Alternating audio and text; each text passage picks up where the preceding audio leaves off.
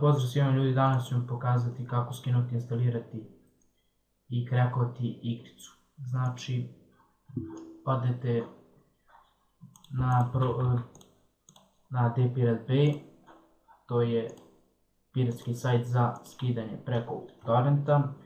Uh, skinete BitTorrent sa njihovog sajta, znači stavit ću link u descriptionu. Znači ovdje odete, skinete, zatim skinete igricu tako što ukucate naziv igrice. Ja ću Sims 3 na primjer. Kliknete Games, ovdje ne veze, kliknete uvijek C i ovo prvo, kliknete Get Torrent, pokreni aplikaciju, ovdje smestite gdje vi želite, Select Folder i OK i igrica će početi da se skida. Znači kada se skine, odite tamo gdje je skinuta. Evo ga.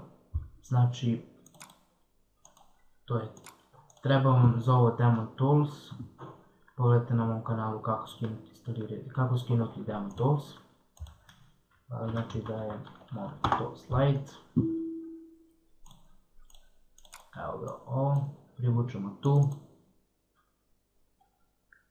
kliknete dva puta, on će se pojaviti u mom kompjuteru, my computer, kliknete ovdje dva puta, English, izaberite OK, sačekate malo, kliknete Next, ovdje izaberite može Srbija, Next, Accept, Next, sad uzmete kod, valjda ovdje ima kod, a možda i nema, dobili smo vjerovatno to uz skidanje igrice, vi ćete isto tako dobiti. Znači, evo ga, patch, ne.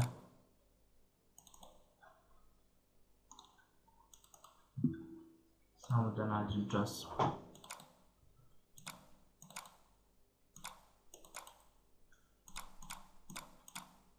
Vjerovatno i ovdje. Ako nema ovako, onda odete na Google, kucite Sims 3 cdk, uđete ovdje, na primjer, i ovdje će vam pisati vjerovatno cd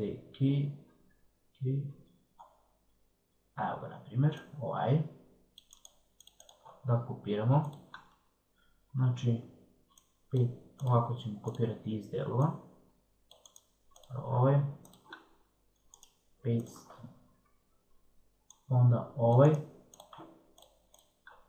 paste, onda ovaj, paste, onda ovaj, paste i onda ovaj. Paste. Idemo next, ok. Aha, invalid kod, onda ovaj kod ne važi. Znači, nađemo nekakav drugi kod.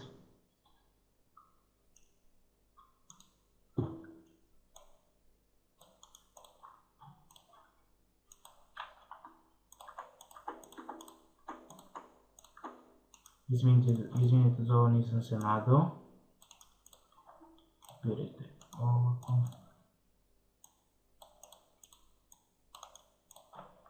Ovako.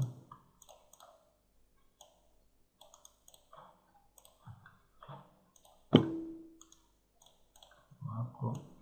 I ovako. I next custom. Znači tu možete smestite.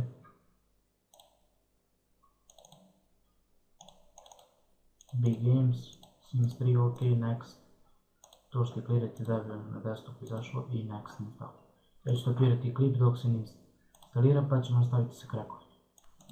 Kada završi kliknete Next, Next, Finish. Odete. Ovamo će 100% kliknete ovdje Open pisat će crack, Ovo možete slobodno kliknuti delete. Znači odemo ovamo gdje smo skinuli igricu. Evo ga. I piše, piše crack, ovo kopirajte. Znači tu properties, open file location i paste. To kada štipirati, copy and replace. I to je bilo to. Hvala što ste gledali ovaj klip, pa ste nešto naučili. Ćao!